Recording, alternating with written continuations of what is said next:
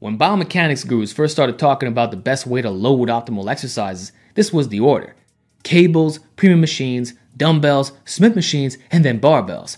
Alignment was prioritized, thus classifying barbells as the worst choice given their fixed restrictiveness. However, these same people were simultaneously raving about the importance of stability for recruiting high threshold motor units, which hugely affects the hypertrophic stimulus. In fact, it wasn't uncommon for them to suggest that stability was more important than the movement pattern itself. Now, upon hearing this, I immediately spotted a contradiction and pointed that out way back in 2021, two years before the so-called experts would inevitably 180 their stance. Nowadays, their new order, particularly for compound movements, is premium machines, Smith machines, barbells or cables, which are interchanged depending for chest or back, with dumbbells in last place. So then, how is it possible that dumbbells went from a solid rank down to the absolute bottom of the list? To put it simply, they're the most unstable and this should have been obvious from day one. It's also why no one does cable presses anymore. Any seasoned lifter could have told you that barbells were stable enough, even though free weighted. Therefore, all these swarms of influencers who quickly joined the bandwagon, screaming to stop barbell benching, it's not optimal as you cannot fully adduct the humerus with the precise trajectory of the pectoral fibers, utilize dumbbells instead, have now returned to the good old power rack or Smith machine. How fascinating. And I'll tell you, I had a feeling would come down to this, as the truth always comes around. Like, if Julius Maddox could raw bench 796, then barbell should be stable for 99% of us. And even if you argue, well, he's the best bencher in the world and enhance, stop referencing outliers, Alex. It doesn't change the fact that benching, say, 315 provides a reasonable absolute load that won't feel unstable. The same goes for 405. Yeah, look how few guys press that, even on a stable Smith machine. So even with the most stable setups, it's not like you can machine press 440 and bench 365. No, 9 out of 10 times it's going to be exactly the same or within a 10 to 50% difference, which usually relates to range of motion differences, not stability. Interestingly, this is also the difference between a specialty bar and a straight bar, which further proves my point. And you know what? Disregarding absolute load, a proper setup with good form makes barbells even stabler. Even the quality of modern barbells affect this. Stiff with minimal whip and tight sleeves? Huh, that's smooth. Then with a heavy duty bench being 12 to 14 inches wide, you are golden. Being locked in without bouncing, trust me, stability should never ever limit you. Anyone who claims otherwise is making up excuses, or they're weak and want to hide their straight bar performance to establish some sort of credibility. However, we can't really say the same for heavy dumbbells. Only lighter weights truly solve the problem. And even there, you'll grow out of them, as doing so really doesn't take that long. At the same time, you could have two guys who can dumbbell press very similar amounts, but their barbell presses are vastly different. This is not due to skill, but rather limitations in progressing with certain weight ranges. When you're close to maxing out the dumbbell stack, even adding 10 pounds is a psychotic jump and does not scale nicely. So going back to our main example of barbell benching, and keep in mind, I'll be talking a lot about presses today. Can't cover every exercise, or this video is going to be an hour long. It's an overloadable, relatively brute force, basic movement that can be perfected within a year of legit training. To say that stability is a limiting factor is utterly absurd. Powerlifters, bench specialists, and home gym enthusiasts all find the idea laughable. In reality, it's not significantly different from a Smith machine, which might be marginally superior on paper when solely discussing stability. But truthfully, you can interchange them and won't really notice a big visual difference in the long term. For these two, I'd argue it's really about preference, or what feels best on the joints with maybe some muscle biasing differences. Regardless, biomechanics gurus seem unfazed by the Smith machine being a fixed, straight bar, despite no converging effect or an emphasis on squeezing, which was their primary criticism of the Olympic bar. Funny how that works. And to top it off, those aspects are least important for hypertrophy. The belief that perfect muscular functions must sync with a balanced resistance profile in order to be optimal is not supported by recent data. Emphasizing the mid to lengthened position combined with an exercise that offers both stability and enough room for progression trumps all. What a revelation. It's sad that a speculative viewpoint prevailed for so long, while those who were in the trenches and generally cared about the community were shouting from the rooftops that something wasn't adding up. We held our stance, not due to being old school purists unwilling to adapt, but due to the application of critical thinking and our years of experience lifting heavy barbells. Now that these influencers have finally gained firsthand experience, they've realized the same truth that we did. So it's crazy how the cable and dumbbell stacks are less populated now for presses and pull downs, whereas earlier this year, you usually waited. Imagine all the elaborate MacGyvering of bringing over benches, weighing them down, often doing your lateral stuff for a little added benefit, meticulous angle setting, and more, all for paradoxically less stability. As usual, the bench bros are vindicated. Even during Leroy Colbert's time, when asked about the best chest exercises, he always mentioned barbell benching. The best exercise to build your chest bench press. We use Olympic bars. You'll be surprised how quick the strength comes up. It's a powerful muscle if it's used right. Never with dumbbells, even though they were very much around at the time and he did incorporate them. Actually, he used to curl 90 pound dumbbells. So for isolation movements, he was a big fan. And that is also my preference, like for curls and tricep extensions. And back then, they weren't as credited after a certain level. And also keep in mind that Leroy Colbert was also a 405 bencher. Plus, this was a general trend in the silver era where they mostly had barbells and dumbbells. So you gotta ask, was the barbell's dominance purely a result of enjoyment and popularity? Of course not. There's always one winner in a 1v1.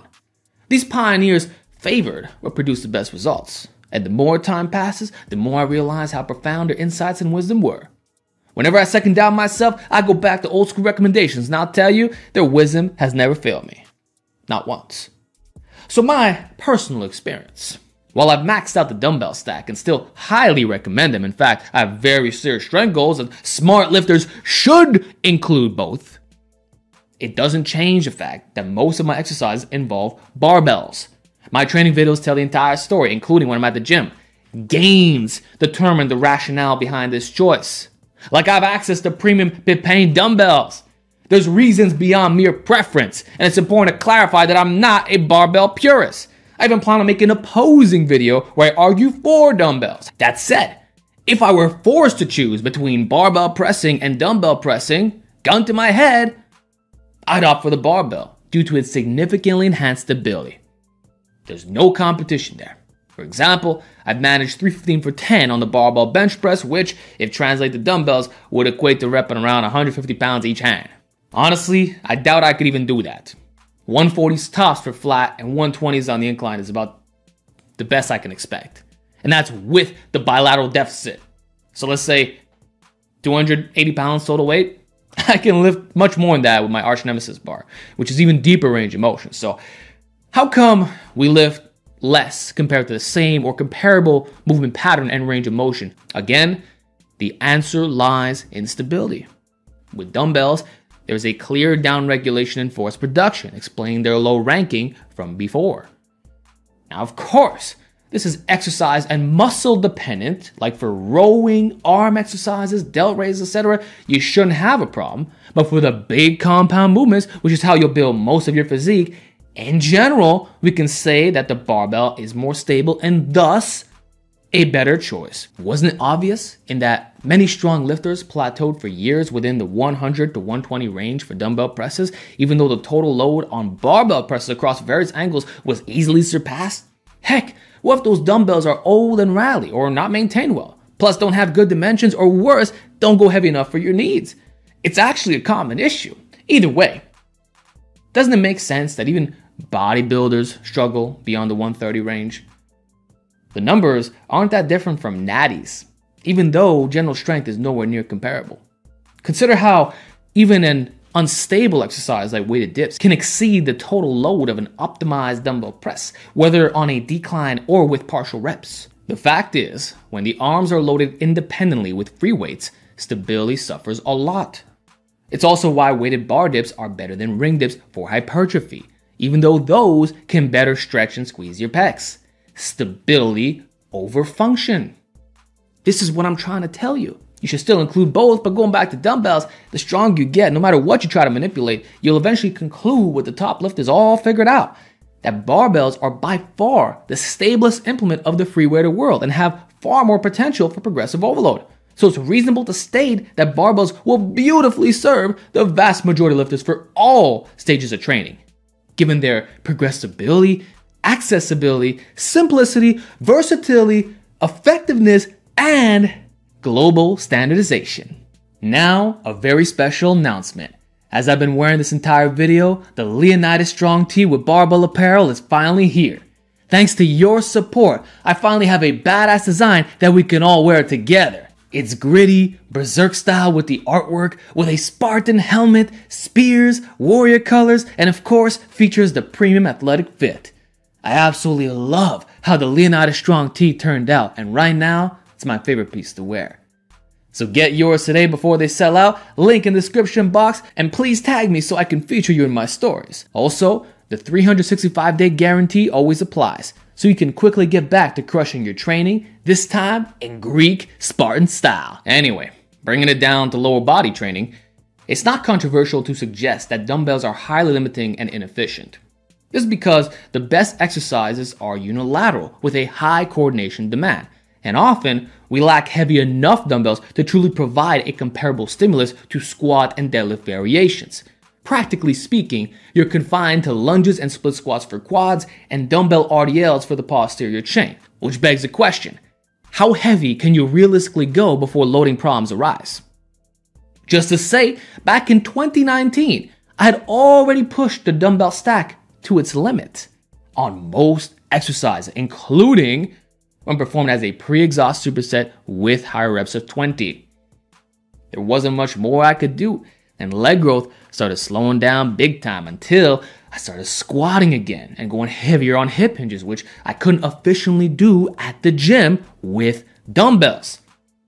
So after switching, my strength and size exploded, just like a novice lifter. I can list countless examples, but my good morning weight increased from 135 times 10 to 315 times 10.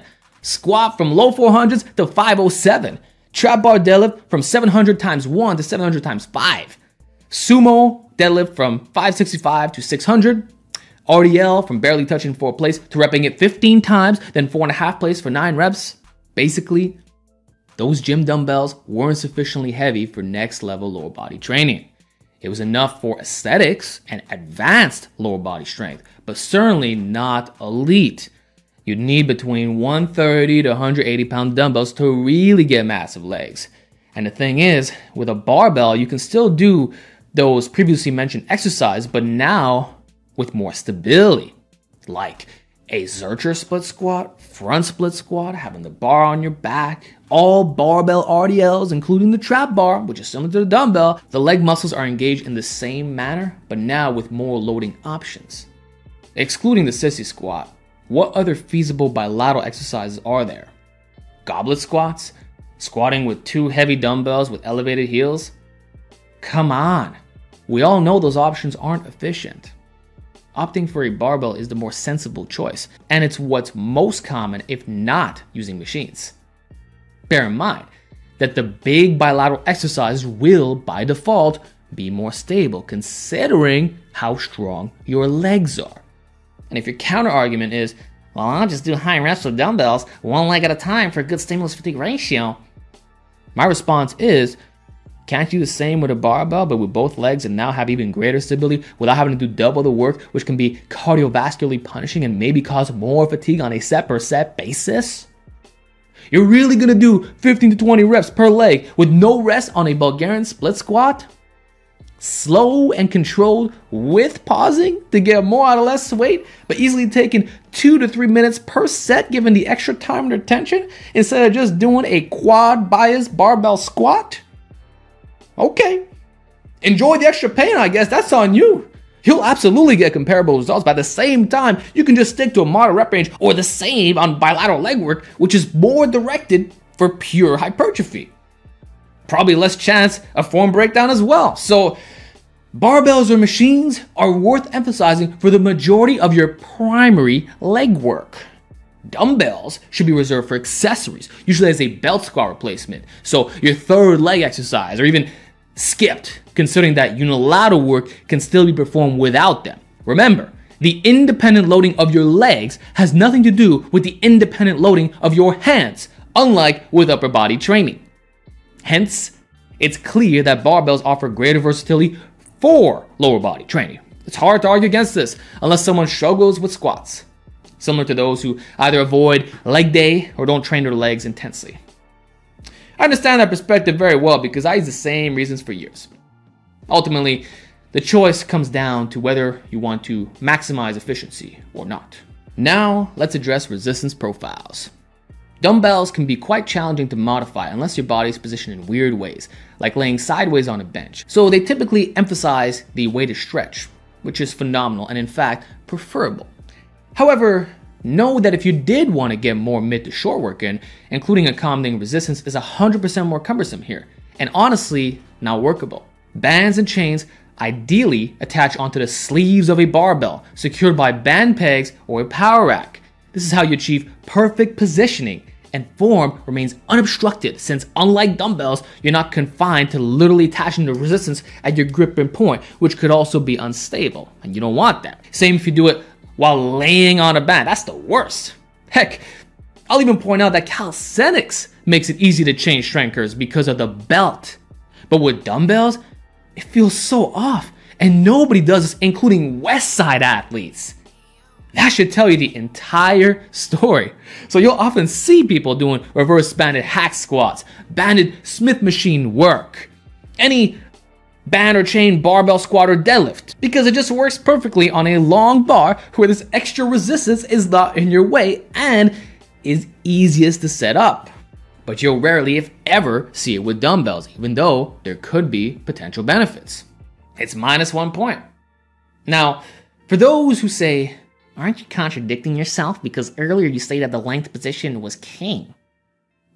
I would say no, because I still believe in reducing overuse by modifying joint angles, and that's something I'm very vocal about. Not that doing so is superior for hypertrophy, but if most of your exercises are length and bias, then it's fine if a few aren't, which in a free weighted context, barbells give you that extra customization. It's all about filling in the gaps, and keep in mind, you don't want more muscle damage if there's already a lot.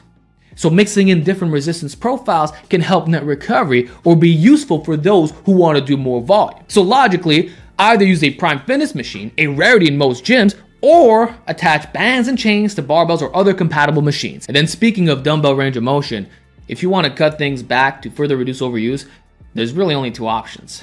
Either perform half reps, decline or floor stuff, but that's limited, or use bigger dumbbells to cut back range of motion, but it won't be standardized and can vary from one heavy dumbbell to another depending on the jumps or brand. But with a barbell, the typical 29 millimeter shaft doesn't change, and if range of motion adjustments are necessary, this is where a board block or pins can be used. So there's never any manual partials, which are inherently more dangerous and make it harder to replicate on a rep per rep basis, or if trying to micro adjust for long term tracking purposes. Whereas with a barbell, I can pinpoint the precise position to set my pins and know the bench block's number being half, one, or two. This accuracy is important, particularly for conjugate enjoyers or for anyone who likes higher exercise selection and targeting weak points. And speaking of strength, in terms of testing, know that there will never be a dumbbell pressing competition unless it's the circus dumbbell, which is standardized by over 100 years and is executed in a specific push pressing manner. Competitive lists predominantly involve barbells with clear, easy to follow rules. Doesn't matter where you are in the world, there's no longer any ambiguity about how strong someone is, especially for brute force lifts that are very muscle dependent like the bench press. And that's why the age old question, how much you bench, bro? is still number one in real life and social media, and it's gonna stay that way for a long time. While it's not something you should fixate on, if you did want to know one of your idol's benches, you'll get an answer and you can compare yourself to other elite natties if you so desire, because it's also the least technical lift of the big three. So saying strength to strength truly applies here. Now, one more thing I'll say about the restrictiveness of barbells. It amazes me how some trainers still claim this, considering the numerous grip variations at your disposal. It need not always involve placing your pinkies on the rings. There's the option of close grip, the reverse grip, or using a simple neutral grip with a Swiss bar. Also, the camber bar to increase range of motion a bit more than dumbbells, with or without multi grips.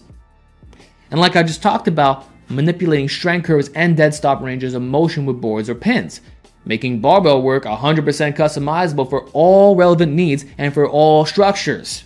Anyone suggesting otherwise is a charlatan, omitting easy fixes and or lacks an understanding or creativity for the various ways to introduce variability, which isn't complicated in the slightest. As for safety considerations, if you're not benching in a power rack or station with safety pins, then dumbbells are technically safer since you can throw them and reach true momentary muscular failure with zero worries. However, the one trade off is that you must kick them into position, and that motion itself can cause injuries or strains in the long term, particularly in the shoulders. So it's not the pressing from the bottom that's a problem, but the initial jerkiness.